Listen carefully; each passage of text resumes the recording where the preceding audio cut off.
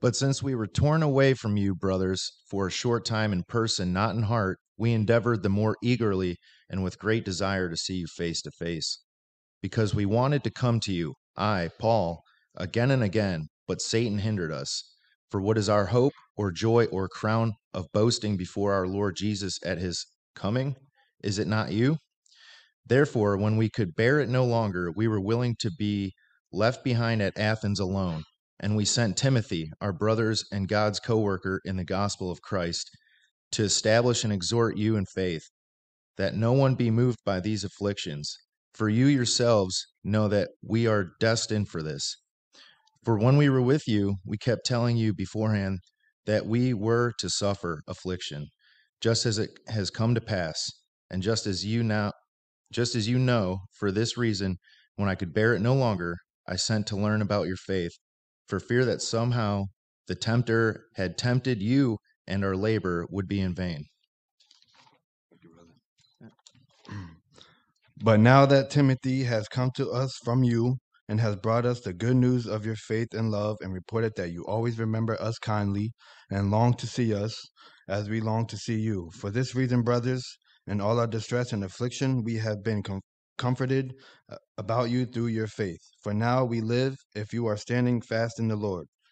For what thanksgiving can we return to God for you? For all the joy and that we feel for your sake before our God, as we pray most earnestly night and day that we may see your face to face and supply what is lacking in your faith.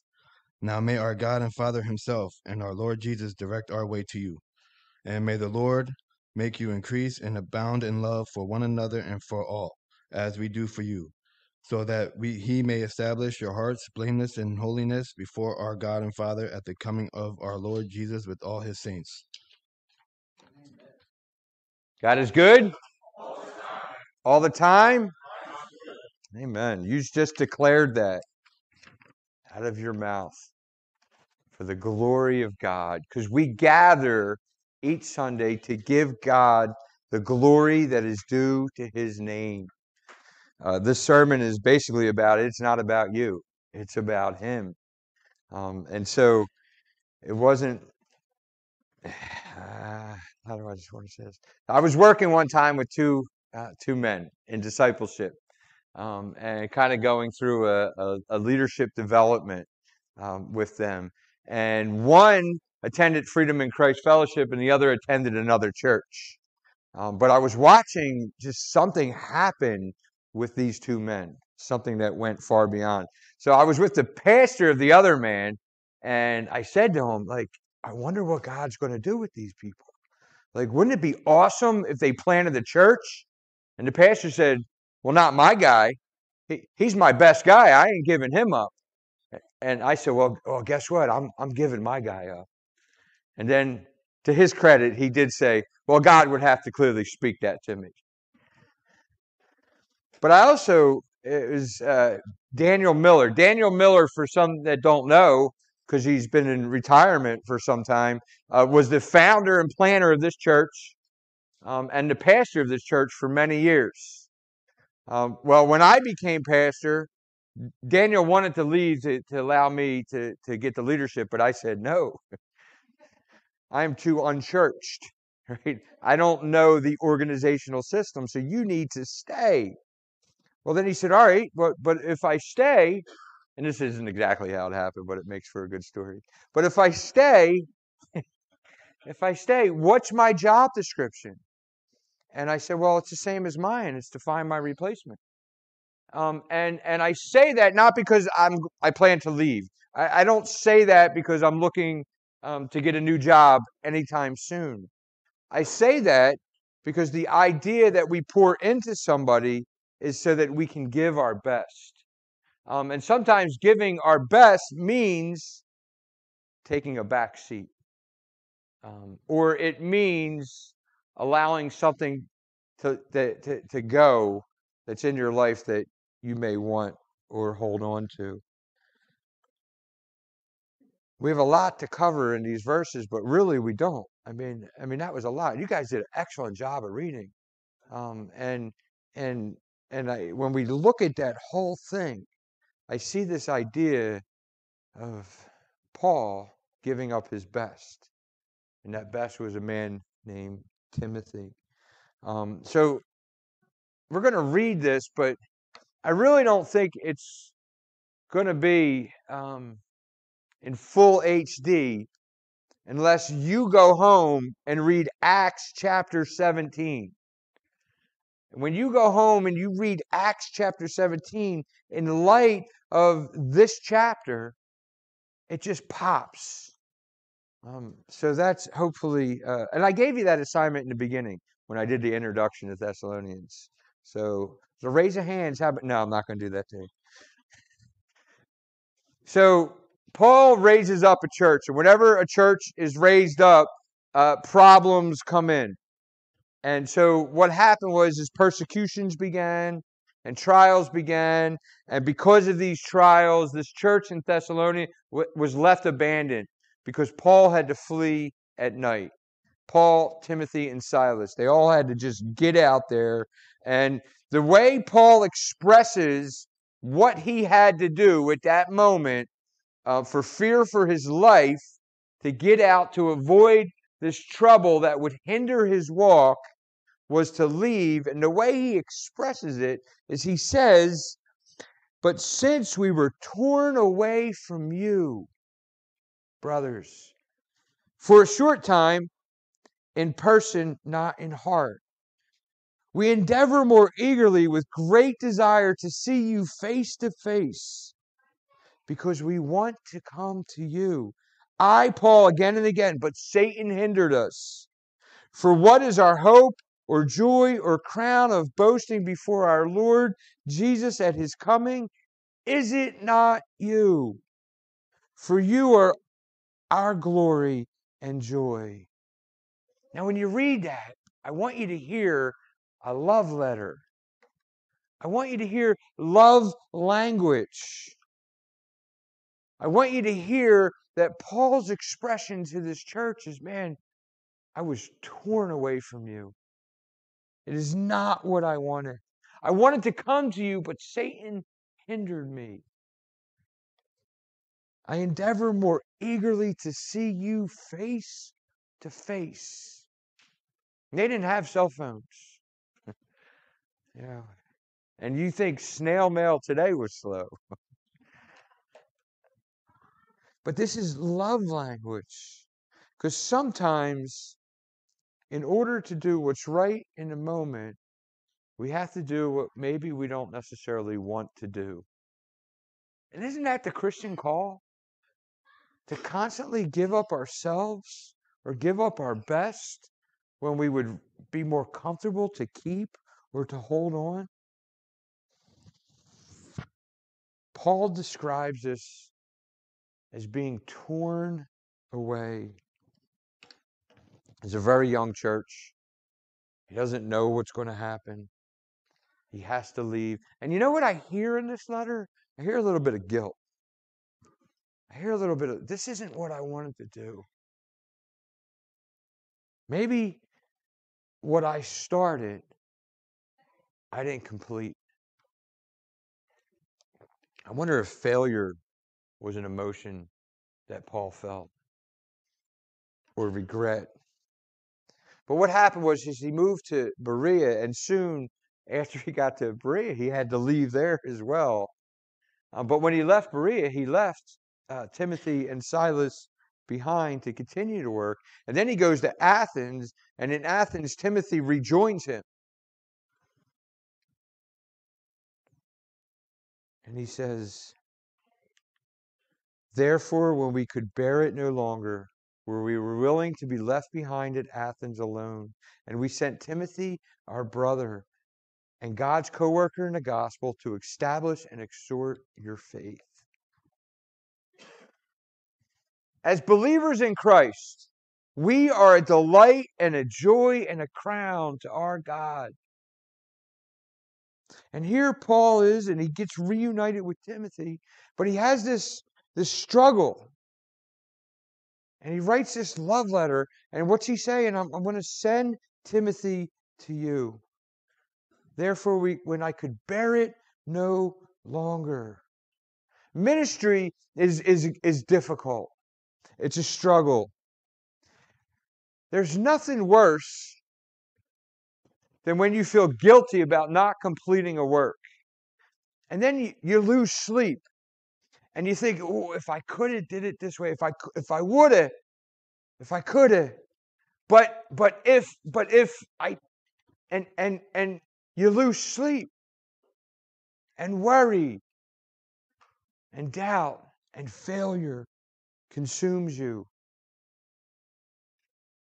When therefore we could bear it no longer, I gotta do something.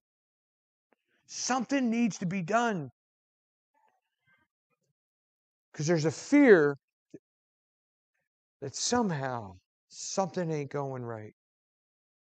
I started this. I started this church of new believers. And then there a grief and a fear and a wonder.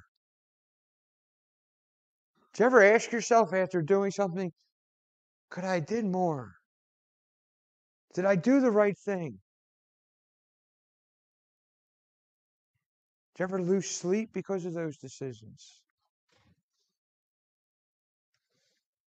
We can all get caught up in the coulda, woulda, shouldas, what ifs. But then what? But then what? The main reason Paul is going through this is because he has a deep love and concern for the people in Thessalonica, namely the church that he helped plant.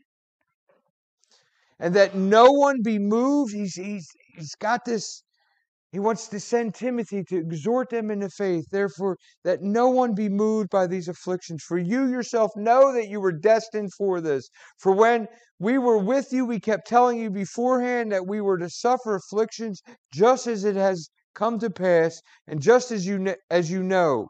For this reason, when I could bear it no longer. I sent to learn about your faith for fear that somehow the tempter had tempted you and our labor would be in vain.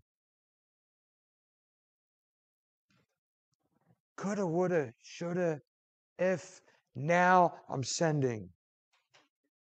Because I, there's a fear. There's a fear that what I started, the enemy is going to come in and take. Now, he could have renounced that fear and said, There is now no fear in the kingdom of God. I am not supposed to fear, and they'll be okay. I'm going to trust God that everything's going to be okay. Or he can back up his fear with an action. And when he backs up his fear with his action, he does something about it and he sends and he gives. He understands that ministry is difficult. He said, I, I wrote about this. You know why? Because Jesus told me this.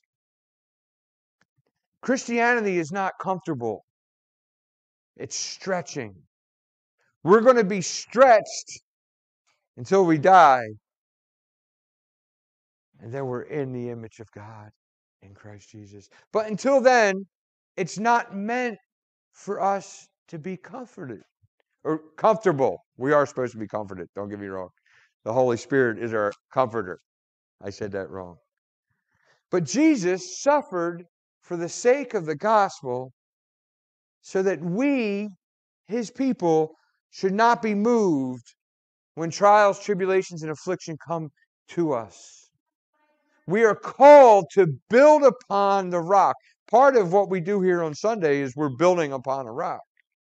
We're building our faith so that it is more secure that when the storms and trials and tribulations come into our life, we are built on Jesus Christ, the firm foundation, the rock, and we won't diminish. We will stand tall. But but Paul wonders is Satan's going to destroy this church that he planted. Because Satan says, for anyone, Jesus says, for anyone hears the word of the kingdom and does not understand it, the evil one comes and snatches it away. What has been sown in the heart, that is what's sown along the path. And if you're in this a while, you have experienced this. You have experienced the work of pouring into somebody only to see that seed snatched away and the person is far off worse than when they began. And so I just want to take a take us in a different direction today. And I want to take us in the direction of giving our best for the sake of the gospel. But now, when Timothy has come to us, he has brought us the good news of your faith and love and report it that you always remember us kindly and long to see us as we long to see you. For this reason, brethren, in all our distress and affliction, we have been comforted about you through your faith. Again, a love letter, an expression of faith. The kind of love that God calls each and us to have for one another. The kind of love that God gives us so that we can demonstrate that love for one another to a dying world. Paul was restricted. He couldn't go. And he gave his best. He sent Timothy. He sent Timothy to complete the work that he started, the mission field that he started. He had a Timothy to send to do this work because of his concern. Because of his concern, because of his worry, the worry that builds over time until you have to do something. And he, he, he has to do this so he can sleep. And I, am I'm, I'm making that up, of course. I don't know. I, I didn't get a chance to ask him. But, but that's kind of what I imagine. How do you rest? How do you rest when your thoughts are thinking, well, what I poured into this, Satan's now destroying? So I can't, but Timothy can when he could bear it no longer. And this is what he says. This is who Timothy is to him my true child in the faith. He also says this in, in Philippians about Timothy I hope in the Lord Jesus to send Timothy to you soon. So he did this before, right? And so that you too may be cheered by the, or so that I too may be cheered by the news of you. For I have no one like him I have no one like him who will be genuinely concerned for your welfare. Tim, Tim, Tim had a pastor's heart that was actually concerned for the people there. For they all seek their own interests, not those of Jesus Christ. So it's not going to be easy. There's the heart of Isaiah go and the people won't understand, right? And who's his heart concerned for? These stiff necked people. But you know Timothy proven worth, how he is a son with a father. He has served with me in the gospel.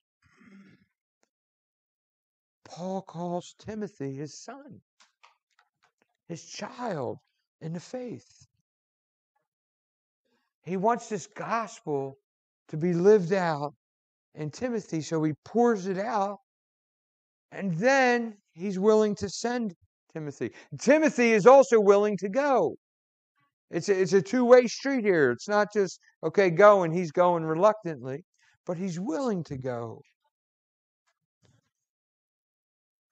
We are not built to hold back our best. We're not built that way because we're made in the image and likeness of God. We are not built to think that we are number one. I think a lot of problems exist today because that's what we walk in. The world revolves around us. And I think that causes more issues than anything. G.K. Chesterton said, How much larger your life it would be if yourself could become smaller in it. It's profound words. How much larger your life would be. As Jesus puts it, if you would just die to yourself. Because what God means for us is good. And with every ounce of our strength, our heart fights against that. We want to be big. We want to be larger than life. But how much larger our life would be if ourselves could become smaller in it. How do we give up our very best? And what does that mean to give up our very best? Some of us here today do not have opportunity to be around family. There's something that has caused the reaction in your life to have to give up family. So I want to appeal to that.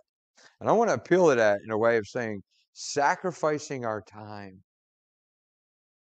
to get to know Jesus, to get the opportunity to be committed to Christ in a way that we have to sacrifice our family and our loved ones and our children for a time being. We are giving up our best in order to grow closer to Christ. Because the, the, the right thing at the wrong time is the wrong thing.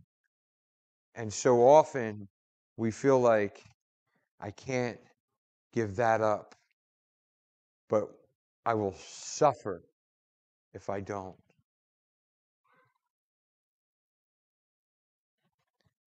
How do we give God our lives in surrender? How do we give up our best, our lives in surrender? Now, there's some here who also lose sight of this and will give up family for the sake of ministry. So you can fall off the horse on both sides, as my brother in law would say. And yet, I would say the scripture says if you don't provide for your family, you're worse than an unbeliever. So, what is the first ministry that God gives us? Be fruitful and multiply. It is within our household. Every year for Eastern Mennonite missions, I have to do a, an annual year in review. And every year there's this one question on there where I go, I'm off balance. I give my family more time than ministry. And every year I get a amen, keep it up. And I don't just get an amen, keep it up from EMM. I get it I get it from Freedom in Christ Fellowship. And I also get it from my missional support team. Right? So it's eh, everybody. I have never had one person say to me, "Stop doing what you're doing with your family because your church needs you more." right? And and I'm not saying I don't do anything, but I'm just saying I I I, I pour a little bit into that to give of my best.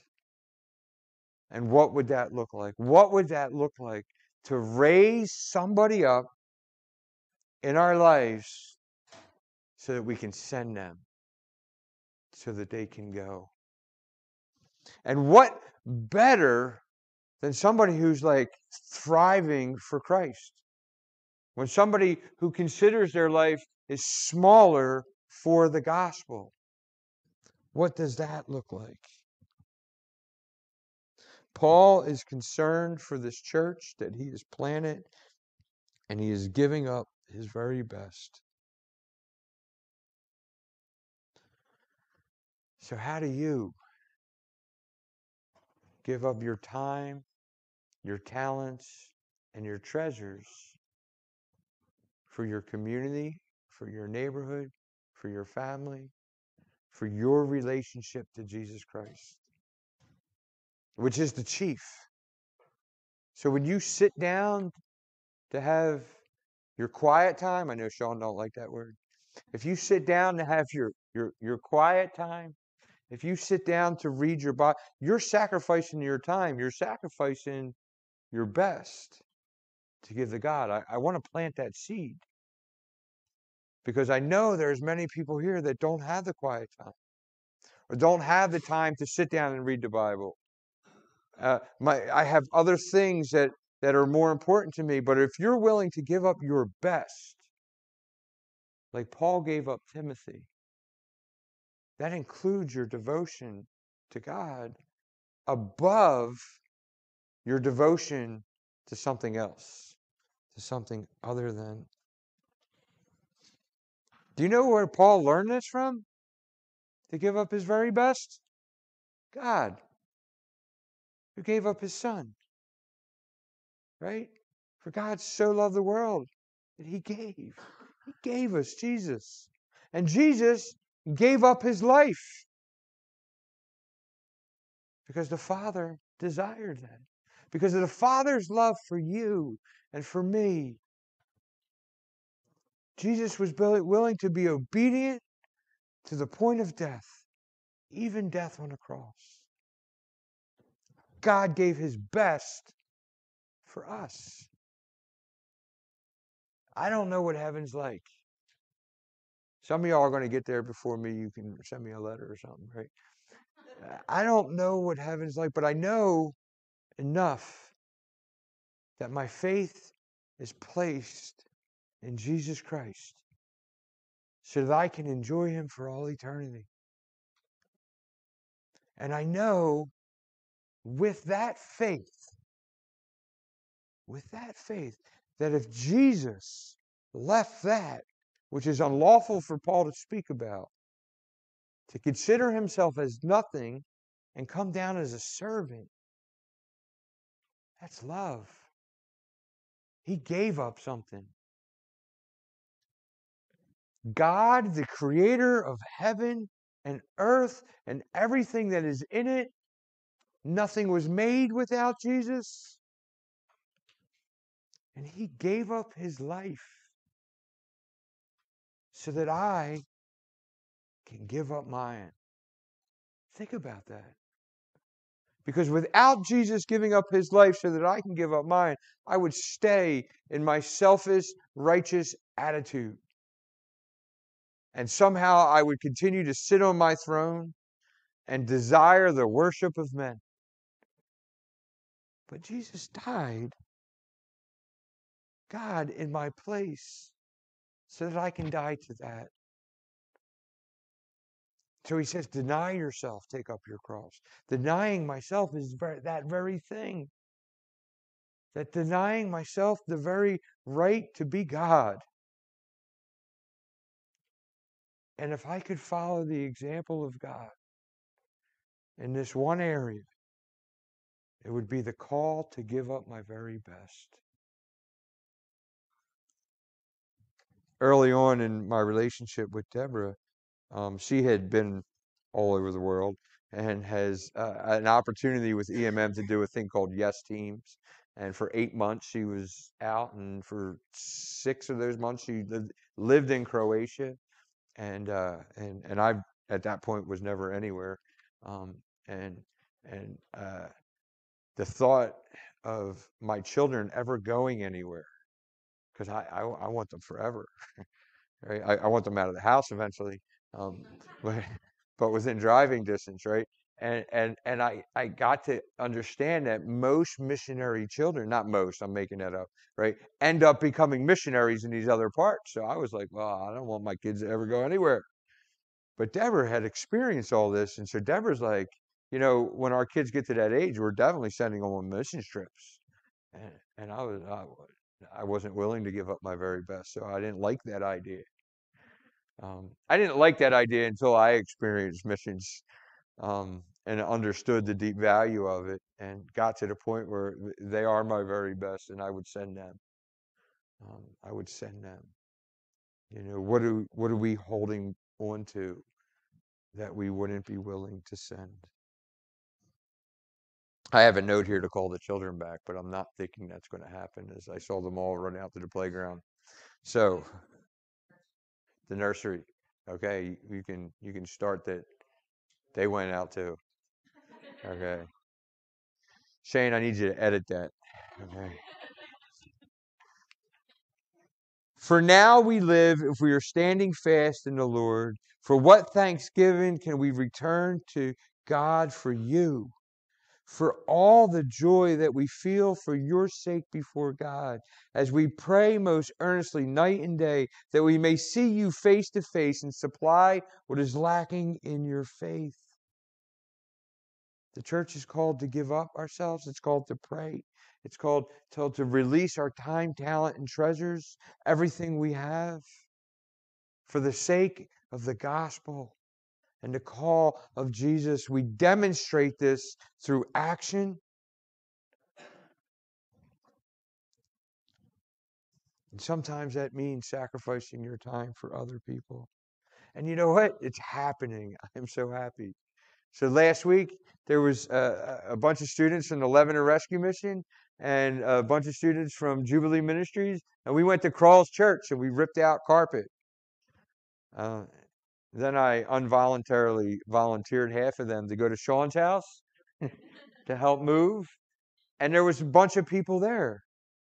There was a whole nother crew. And then we just heard the report of VBS, all the volunteers that came out here um, to help. We thanked Elsie for the plant sale that took some volunteers. There's a whole bunch of stuff coming up we're going to be signing up for. Hint, hint. Um, but there's Bible studies, there's community events, there's devotions around the table. When we take steps to giving God our lives, what we're essentially saying is, I'm giving my very best. I'm giving it up. I'm giving up my time, my talent, my treasures, the very best, so that I can follow Christ.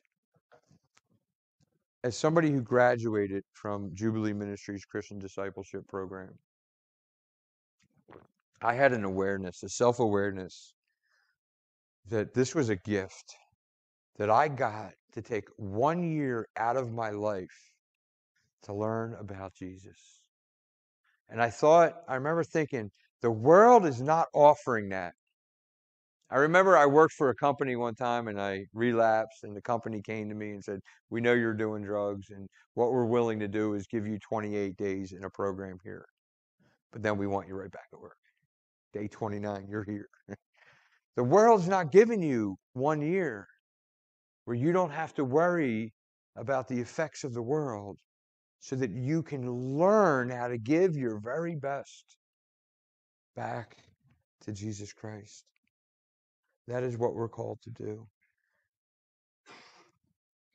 The mindset of God toward us is that He sent His Son into the world not to be served, but to serve. And Romans 8:32 says, Who did not spare his own son, but gave him up for us all. How will he also not with him graciously give us all things?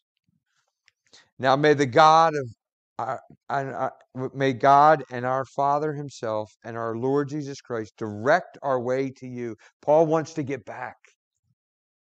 And may the Lord make you increase and abound in love for one another and for all. This is why he's sending Timothy. He understands that when you give it all back to God, God does something with it. So the Lord, and may the Lord make you increase and abound in love for one another and for all, as we do for you, so that he may establish your hearts blameless in holiness before our God and Father at the coming of our Lord Jesus with all the saints. Lord, I thank you, Father, that because of your sacrifice, we can give our best. That you see us as blameless in your Son. And that will be experienced in the fullness when you come back, Lord Jesus. The payout for our sacrificial love, Lord, is that we can be devoted to you because we know that you will come back again and restore us, that we can rest in a complete shalom peace that you have established for us. We give you glory and honor and thanks in Jesus' name. Amen.